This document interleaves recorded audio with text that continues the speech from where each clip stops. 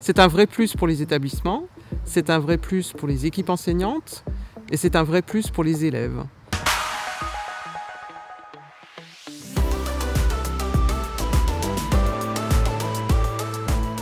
Mesdemoiselles, Messieurs, bonjour. Guten Morgen.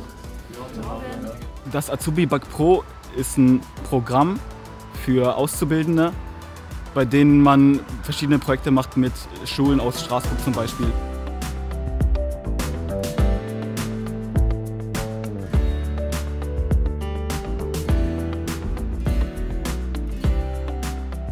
À la place de l'élève qui va croire qu'il a euh, des heures d'enseignement supplémentaires par rapport à la même filière sans Atsubi et lui faire comprendre que c'est un plus et tous les avantages qu'il a à retirer euh, de cet investissement. Et surtout lui montrer qu'il euh, va vivre des choses que d'autres ne vivront pas. Selbstbewusstsein und Selbstvertrauen. Diese beiden Sachen, die wachsen einen einfach total. Im, einmal in Hinsicht auf der Sprache, aber auch in Hinsicht auf dich selbst als Person. Ça change nos pratiques aussi.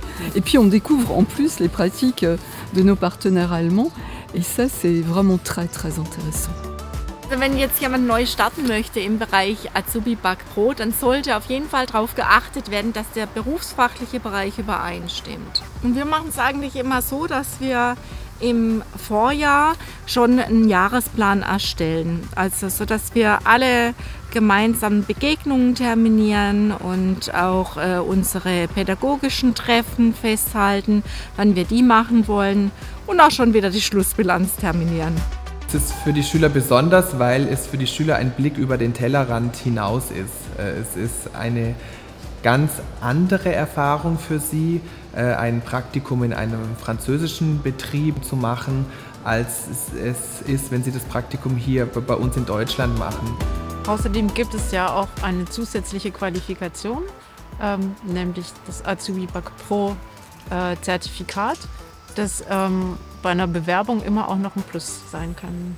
Nous avons euh, des compétences euh, du baccalauréat français à mener, c'est-à-dire des, gestes techniques, mais bien évidemment, on va aller plus loin en associant le geste technique français à la parole allemande. Il y a des jeunes qui, de par le fait d'avoir fait cette expérience-là, sont beaucoup plus ouverts pour aller travailler donc en Allemagne ou voire même en Autriche, hein, dans ce milieu professionnel de l'hôtellerie-restauration.